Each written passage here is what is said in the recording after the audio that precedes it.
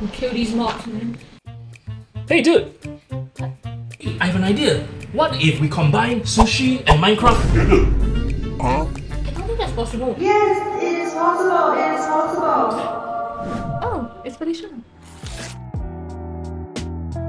This year, the Minecraft Championship is back and we have teamed up with Sakae Sushi.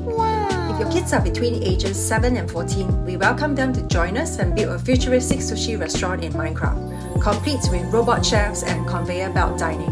They'll also dream up of new sushi creations and show off their ideas in this national challenge. There are prizes worth up to $700 and the coolest part, the winning idea could appear on Sakae Sushi's real menu.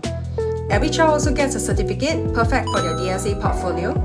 Spaces are limited, so don't wait. Register now for the Minecraft Championship 2025 and let their imagination roll.